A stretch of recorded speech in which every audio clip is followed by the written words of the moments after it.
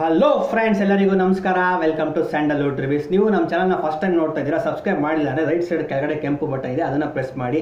Left ಸೈಡಲ್ಲಿ bell button ಇದೆ, ಅದನ್ನು ಕೂಡ ಪ್ರೆಸ್ ಮಾಡ್ಕೊಳ್ಳಿ. ಓಕೆನಾ ಫ್ರೆಂಡ್ಸ್ ಸೊ ಬನ್ನಿ ಸ್ಟಾರ್ಟ್ ಮಾಡೋಣ ಇವತ್ತಿನ ರಿವ್ಯೂ ಇವತ್ತು ನಾನು ರಿವ್ಯೂ ಮಾಡ್ತಿರೋ ಸಿನಿಮಾ ಯಾವುದಪ್ಪ ಅಂದರೆ ಟೈಗರ್ ಹೌದು ಫ್ರೆಂಡ್ಸ್ ನಮ್ಮ ಐ ಎ ಎಸ್ ಆಫೀಸರ್ ಆಗಿ ಇವಾಗ ರಿಟೈರ್ ಆಗಿರುವಂಥ ಶಿವರಾಮ್ ಸರ್ ಮತ್ತೆ ಅವರ ಅಳಿಯ ಪ್ರದೀಪ್ ಮಾಡಿರುವಂಥ ಸಿನಿಮಾ ಇದು. ಸೊ ಸಿನಿಮಾ ಸ್ಟೋರಿ ಏನಪ್ಪ ಅಂದರೆ ಸಿನಿಮಾದಲ್ಲಿ ಅಪ್ಪನ ಕ್ಯಾರೆಕ್ಟರ್ ಮಾಡಿದರೆ ನಮ್ಮ ಐ ಎ ಎಸ್ ಶಿವರಾಮ್ ಅವರು. ಸೊ ಅವ್ರಿಗೆ ಏನಪ್ಪ ಅಂದರೆ ಮಗ ಆಗಿರುವಂಥ ಪ್ರದೀಪ್ ಬ್ಯಾಂಕ್ ಮ್ಯಾನೇಜರ್ ಆಗಬೇಕು ಅಂತ ತುಂಬ ತುಂಬ ಇಷ್ಟ ಇರುತ್ತೆ. ಬಟ್ ಮಗ ಹೀರೋ ಆಗಿರೋಂಥ ಪ್ರದೀಪ್ ಅವ್ರಿಗೆ ನಾನು ಪೊಲೀಸ್ ಆಗಬೇಕು ಅಂತ ತುಂಬ ಇಷ್ಟ ಇರುತ್ತೆ. ಸೊ ಅಪ್ಪ ಮಗನಿಗೆ ಇದ್ರ ಬಗ್ಗೆನೇ ತುಂಬ ಜಗಳ ನಡೀತಾ ಇರುತ್ತೆ. ಮಗ ಪೊಲೀಸ್ ಆಗ್ತೀನಿ ಅಂತ ಇಲ್ಲ, ಅಪ್ಪ ಬ್ಯಾಂಕ್ ಮ್ಯಾನೇಜರ್ ಆಗ್ತಾನೆ ಅಂತ. ಸೊ ಹೀಗೆ ಜಗಳ ನಡೀತಾ ಇರುವಾಗಲೇ ಹೀರೋಯಿನ್ ಇಂಟ್ರಕ್ಷನ್ ಆಗುತ್ತೆ. ಸೊ ಹೀರೋಯಿನ್ ಇಂಟ್ರಕ್ಷನ್ ಯಾವ ಥರ ಆಗುತ್ತಪ್ಪ ಅಂದರೆ, ಆ ಹೀರೋಯಿನ್ ದೆವ್ವ ಅನ್ಕೊಂಡು ನಮ್ಮ ಹೀರೋ ಎಲ್ಲ ಭಯಪಡ್ತಾರೆ. ಬಟ್ ದೆವ್ವನೇ ಕೂಡ ಲವ್ ಮಾಡ್ತೀನಿ ಅಂತ ಹೀರೋ ಹೀರೋಯಿನ್ ಹಿಂದೆ ಬೀಳ್ತಾರೆ. ಸೊ ಹೀರೋ ಹೀರೋಯಿನ್ ಮೇಲೆ ಹಿಂದೆ ಬಿದ್ದ ಮೇಲೆ ವಿಲನ್ ಎಂಟ್ರಿ ಆಗಲೇಬೇಕಾ? ಸೊ ವಿಲನ್ ಎಂಟ್ರಿ ಆಗ್ತಾರೆ. ವಿಲನ್ ಈ ಸಿನಿಮಾದಲ್ಲಿ ಹೀರೋಯಿನ್ ಮಾವನ ಇರ್ತಾರೆ ಅವರು ಒಬ್ರು ಆ ಲೋಕಲ್ ಎಂ ಎಲ್ ಎ ಆಗಿರ್ತಾರೆ. ಸೊ ಅವರು ಹೀರೋಯಿನ್ನ ಮದುವೆ ಆಗಬೇಕು ಅಂತ ಹೀರೋಯಿನ್ ಬೀಳ್ತಾರೆ. ಸೊ ಇಷ್ಟೇ ಸ್ಟೋರಿ ಹೇಳೋಕ್ಕಾಗೋದು. ಎಂ ಎಲ್ ಎ ವಿಲನ್ನು ಹೀರೋಯಿನ್ನ ಮದುವೆ ಆದ್ರ? ಇಲ್ಲ ಹೀರೋನ ಹೀರೋಯಿನ್ನ ಮದುವೆ ಆದ್ರ? ಅಪ್ಪ ಮಗನ ಜಗಳದಲ್ಲಿ ಮಗ ಪೊಲೀಸ್ ಆದ್ನ ಇಲ್ಲ ಬ್ಯಾಂಕ್ ಮ್ಯಾನೇಜರ್ ಆದ್ನ ನೀವು ಥಿಯೇಟ್ರಲ್ಲೇ ಹೋಗಿ ನೋಡಬೇಕು. ಸ್ಟೋರಿ ಅಷ್ಟೇ ಹೇಳೋಕ್ಕಾಗೋದು. ಪರ್ಫಾರ್ಮೆನ್ಸ್ಗಳು ಶಿವರಾಮ್ ಅವ್ರ ಪರ್ಫಾರ್ಮೆನ್ಸು ಆ್ಯಕ್ಷನ್ ಸೀಕ್ವೆನ್ಸಲ್ಲೆಲ್ಲ ಮತ್ತು ಮಾಮೂಲಿ ಕ್ಯಾರೆಕ್ಟ್ರಲ್ಲೆಲ್ಲ ತುಂಬ ಚೆನ್ನಾಗಿದೆ ಅಂತ ಹೇಳ್ಬೋದು. ಬಟ್ ಏನಪ್ಪ ಅಂದರೆ ಡೈಲಾಗ್ ಡೆಲಿವರಿಲಿ ಅವ್ರ ವಯಸ್ಸು ಕಾಣಿಸುತ್ತೆ. ಸೊ ಇದಾದ್ಮೇಲೆ ನೆಕ್ಸ್ಟ್ ಹೀರೋ ಕ್ಯಾರೆಕ್ಟರ್ ಮಾಡಿದಂಥ ಪ್ರದೀಪ್ ಅವರು ಪ್ರದೀಪ್ ಅವರು ಡ್ಯಾನ್ಸು ತುಂಬ ಚೆನ್ನಾಗಿ ಮಾಡಿದ್ದಾರೆ. ಆ್ಯಕ್ಷನ್ ಫೈಟ್ಸ್ ಅಂತೂ ಸೂಪರಾಗಿ ಮಾಡಿದ್ದಾರೆ. ಬಟ್ ಆ್ಯಕ್ಟಿಂಗಲ್ಲಿ ಇನ್ನೊಂದು ಸ್ವಲ್ಪ ಅವ್ರಿಗೆ ಟ್ರೈನಿಂಗ್ ತಗೊಬೇಕು. ಮತ್ತೆ ಮತ್ತೆ ಮುಖದಲ್ಲಿ ಎಕ್ಸ್ಪ್ರೆಷನ್ ಕೊಡೋದ್ರಲ್ಲೂ ಇನ್ನೊಂದು ಸ್ವಲ್ಪ ಕಲಿಬೇಕು ಅಂತ ನನಗೆ ಅನಿಸ್ತು ಹೀರೋಯಿನ್ ಹೀರೋಯಿನ್ ಪರ್ಫಾರ್ಮೆನ್ಸ್ ಬಗ್ಗೆ ಮಾತಾಡೋಂಥದ್ದು ಏನು ಇಲ್ಲ. ಯಾಕಂದರೆ ಹೀರೋಯಿನ್ ಮಾಮೂಲಿ ಬಿಡಿ ಇದ್ರೂ ಇಲ್ದಂಗೆ ಅಂತ ಹೇಳ್ಬೋದು ಸಿನಿಮಾಗಳಲ್ಲಿ, ಇಂಥ ಕಮರ್ಷಿಯಲ್ ಸಿನಿಮಾಗಳಲ್ಲಿ. ಇದಾದಮೇಲೆ ನೆಕ್ಸ್ಟ್ ಕಾಮಿಡಿ ಆಕ್ಟರ್ಸ್ ಮಾಡಿರುವಂಥ ನಮ್ಮ ಚಿಕ್ಕಣ್ಣ ಅವ್ರದ್ದು ಇಂಟ್ರೋವರೆಗೂ ಕಾಮಿಡಿ ಅವರೇನೆ. ಫುಲ್ಲು ಸೂಪರಾಗಿ ಕಾಮಿಡಿ ನಗು ಬರುತ್ತೆ ನಿಮಗೆಲ್ಲ ಸಿನಿಮಾಗಳಲ್ಲೂ. ಆಮೇಲೆ ರಂಗಾಯಣ ರಘು ಒಂದು ಸ್ವಲ್ಪ ಕಾಮಿಡಿ ನಗು ಬರುತ್ತೆ, ಅಷ್ಟೊಂದು ಓವರಿಲ್ಲ ಆಮೇಲೆ ಇಂಟ್ರೋ ಆದಮೇಲೆ ಬರುವಂಥ ಸಾಧು ಹೋಗಿಲ್ಲ ಅವ್ರ ಕಾಮಿಡಿಲಿ ಅಷ್ಟು ನಗು ಬರಲ್ಲ ನಿಮಗೆ. ಆಮೇಲೆ ಇನ್ನೊಬ್ಬರು ವಿಲ್ಲನ್ ಇದ್ದಾರೆ, ಅವರು ರವಿಶಂಕರ್. ರವಿಶಂಕರ್ ಅವರು ಇಂಟ್ರೋಲ್ ಆದಮೇಲೆ ಫಿಲಮ್ಗೆ ಎಂಟ್ರಿ ಕೊಡ್ತಾರೆ.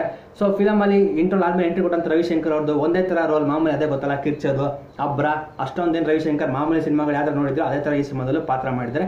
ಬೇರೆ ಎಕ್ಸ್ಟ್ರಾ ಹೊಸದು ರವಿಶಂಕರ್ ಪಾತ್ರದಲ್ಲಿ ಏನೂ ಮೂಡ್ ಬಂದಿಲ್ಲ ಅಂತ ಹೇಳ್ಬೋದು. ಸೊ ಇದಾದಮೇಲೆ next music music B G M background music super ಆಗಿದೆ. ಆ್ಯಕ್ಷನ್ ಸೀಕ್ವೆನ್ಸಲ್ಲಂತೂ ಬಿ ಜಿ ಎಮ್ಮು ಒಂದು ಸೂಪರ್ ಆಗಿದೆ ಅಂತ ಅನ್ಸ್ಬೋದು, ಅನಿಸುತ್ತೆ. ಇದಾದಮೇಲೆ ನೆಕ್ಸ್ಟ್ ಸಾಂಗ್ಸ್ಗಳು ಒಂದು ಎರಡು ಸಾಂಗ್ಸ್ ಚೆನ್ನಾಗಿದೆ. ಸುದೀಪ್ ಅವ್ರು ಆಡಿರೋದೊಂದು ಆಮೇಲೆ ವಿಜಯ್ ಪ್ರಕಾಶ್ ಆಡಿರೋದು ಚೆನ್ನಾಗಿದೆ. ಇನ್ನು ಮಿಕ್ಕಿ ಸಾಂಗ್ಸ್ಗಳು ಬೇಕಾಗಿಲ್ಲ ಅಂತ ಅನಿಸುತ್ತು. ಬಟ್ ಆದ್ರೂ ತುಂಬ ಖರ್ಚು ಮಾಡಿ ಸಾಂಗ್ಸ್ಗಳನ್ನ ಮಾಡಿದ್ದಾರೆ. ಇದಾದಮೇಲೆ ನೆಕ್ಸ್ಟ್ ಸ್ಕ್ರೀನ್ ಪ್ಲೇ ಇಂಟ್ರೋವರೆಗೂ ಸ್ಕ್ರೀನ್ ಪ್ಲೇ ಎಲ್ಲೂ ನಿಮ್ಗೆ ಬೋರ್ ಆಗಲ್ಲ. ಬಟ್ ಇಂಟ್ರೋ ಆದಮೇಲೆ ಒಂದು ಫ್ಲ್ಯಾಶ್ ಬ್ಯಾಕ್ ಎಪಿಸೋಡ್ ಇದೆ ಶಿವರಾಮ್ ಅವ್ರದ್ದು ಅದು ಸ್ವಲ್ಪ ಬೋರ್ ಹೊಡ್ಸುತ್ತೆ ಮತ್ತು ಇಂಟ್ರೋ ಆದಮೇಲೆ ಒಂದು ಸ್ವಲ್ಪ ನಿದ್ದೆ, ಕಣ್ಣು ತೂಕಡಿಸುತ್ತೆ ಅಂತ ನಾನು ಹೇಳ್ತಾ ಇದ್ದೀನಿ. ನನಗೆ ಆ ಥರ ಅನಿಸ್ತು. ಸೊ ಇದಾದಮೇಲೆ ನೆಕ್ಸ್ಟು ಬಂದು ನಮ್ಮ ಆ್ಯಕ್ಷನ್ನು ಫೈಟ್ಸ್ ಅಂತೂ ಸೂಪರ್ ಆಗಿದೆ, ಭರ್ಜರಿ ಆಗಿದೆ ಫೈಟ್ಸ್ ಅಂತ ಹೇಳ್ಬೋದು. ಆಮೇಲೆ ಕ್ಯಾಮ್ರಾ ವರ್ಕು ಕ್ಯಾಮ್ರಾ ವರ್ಕು ಅಷ್ಟೇ ಫೈಟ್ ಸೀಕ್ವೆನ್ಸ್ ಅಲ್ಲಿ ಆಗ್ಬೋದು, ಇಲ್ಲ ಸಾಂಗ್ ಸೀಕ್ವೆನ್ಸಲ್ಲಿ ಆಗ್ಬೋದು. ತುಂಬ ಅದ್ಭುತವಾಗಿ ಸಿನಿಮಾಟೋಗ್ರಫಿ ಮಾಡಿದ್ದಾರೆ ಅಂತ ಹೇಳ್ಬೋದು. ಇದಾದಮೇಲೆ ನೆಕ್ಸ್ಟ್ ಬರುವಂಥದ್ದು ಕಾಮಿಡಿ ಕಾಮಿಡಿ ಇಂಟರ್ವ್ಯೂಗೂ ಚಿಕ್ಕಣ್ಣ ತುಂಬ ಅದ್ಭುತವಾಗಿ ಮಾಡಿದ್ದಾರೆ. ಇಂಟರ್ ಆದಮೇಲೆ ಕಾಮಿಡಿ ಅಂತೂ ಇಲ್ಲ ಫುಲ್ ಸೀರಿಯಸ್ ಆಗುತ್ತೆ ಸಬ್ಜೆಕ್ಟು ಸಾಧು ಕೋಕಿಲ ಹೊಡೆದಿದ್ರು ನಗು ಬರಲ್ಲ. ಸೊ ಇದಾದಮೇಲೆ ನೆಕ್ಸ್ಟು ಪಾಸಿಟಿವ್ ಪಾಯಿಂಟ್ಸು ಪಾಸಿಟಿವ್ ಪಾಯಿಂಟ್ಸ್ಗಳು ಏನಪ್ಪ ಅಂದರೆ ಸಿನಿಮಾ ಇಂಟರ್ವ್ಯೂಗೂ ತುಂಬ ಚೆನ್ನಾಗಿದೆ, ಎಲ್ಲೂ ಬೋರ್ ಓಡಿಸಲ್ಲ ಚಿಕ್ಕಣ್ಣ ಕಾಮಿಡಿಯಲ್ಲಿ ನಗು ಬರುತ್ತೆ. ಸ್ಟೋರಿ ಕೂಡ ಸಿನಿಮಾವರೆಗೂ ಇಂಟರ್ವರೆಗೂ ಚೆನ್ನಾಗಿ ನೋಡ್ಸ್ಕೊಂಡು ಹೋಗುತ್ತೆ ನಿಮ್ಮನ್ನ ಆಮೇಲೆ ಇನ್ನೊಂದು ಪಾಸಿಟಿವ್ ಪಾಯಿಂಟ್ ಏನಪ್ಪ ಅಂದರೆ, ಸಿನಿಮಾದಲ್ಲಿ ನಮ್ಮ ಹೀರೋ ಆ್ಯಕ್ಷನ್ಗಳು ತುಂಬ ಚೆನ್ನಾಗಿ ಮಾಡಿದ್ದಾರೆ ಫೈಟ್ಸು ಅದೊಂದು ಪಾಸಿಟಿವ್ ಪಾಯಿಂಟು ಆಮೇಲೆ ಇನ್ನೊಂದು ಪಾಸಿಟಿವ್ ಪಾಯಿಂಟ್ ಏನಪ್ಪ ಅಂದರೆ ರಿಚ್ ವ್ಯಾಲ್ಯೂ ಇದೆ ಸಿನಿಮಾದಲ್ಲಿ, ದುಡ್ಡು ಚೆನ್ನಾಗಿ ಖರ್ಚು ಮಾಡಿದ್ದಾರೆ, ಅದು ನೀಟಾಗಿ ಸ್ಕ್ರೀನಲ್ಲಿ ಕೂಡ ಕಾಣಿಸುತ್ತೆ. ಆಮೇಲೆ ನೆಗೆಟಿವ್ ಪಾಯಿಂಟ್ಸ್ ನೆಗೆಟಿವ್ ಪಾಯಿಂಟ್ಸ್ಗಳು ಏನಪ್ಪ ಅಂದರೆ, ಹೀರೋ ಸ್ವಲ್ಪ ಆ್ಯಕ್ಟಿಂಗು ಮತ್ತು ಎಕ್ಸ್ಪ್ರೆಷನ್ ಇನ್ನೂ ಸ್ವಲ್ಪ ಚೆನ್ನಾಗಿ ಮಾಡಿದರೆ ಇನ್ನೂ ಸ್ವಲ್ಪ ನೋಡೋರಿಗೆ ಅಟ್ರಾಕ್ಷನ್ ಆಗಿರೋದು. ಆಮೇಲೆ ಇನ್ನೊಂದು ನೆಗೆಟಿವ್ ಪಾಯಿಂಟ್ಸ್ ಏನಪ್ಪ ಅಂದರೆ ಸಾಂಗ್ಸ್ಗಳು ಒಂದು ಎರಡು ಸಾಂಗ್ಸ್ ಎಕ್ಸ್ಟ್ರಾ ಅಂತ ಅನಿಸ್ತು. ಅವು ಬೋರ್ ಹೊಡಿಸುತ್ತೆ, ಅವು ನಿದ್ದೆ ತರಿಸುತ್ತೆ ಆಮೇಲೆ ಇಂಟ್ರೋಲ್ ಆದಮೇಲೆ ನೆಗೆಟಿವ್ ಪಾಯಿಂಟ್ ಇನ್ನೊಂದು ಏನಪ್ಪ ಅಂದರೆ ಇಂಟ್ರೋಲ್ ಆದಮೇಲೆ ಸಿನಿಮಾ ಸ್ವಲ್ಪ ಸ್ಲೋ ಅಂತ ಅನಿಸುತ್ತೆ. ಆಮೇಲೆ ಎಲ್ಲೆಲ್ಲೋ ಕತೆ ಓಡುತ್ತೆ. ಆಮೇಲೆ ಇಂಟ್ರೋಲ್ ಆದಮೇಲೆ ಯುವರಾಜ್ ಜಯಶಂಕರ್ ಹೊಡಿತೀನಿ ಹೊಡಿತೀನಿ ಅಂತ ಹೀರೋ ಹಿಂದೆ ಬೀಳ್ತಾನೆ ಇರ್ತಾರೆ. ಅದು ಸ್ವಲ್ಪ ನಿಮಗೆ ಯಾವಾಗ ಹೊಡಿಯಪ್ಪ ಬೇಗ ಅಂತ ಅನಿಸುತ್ತೆ.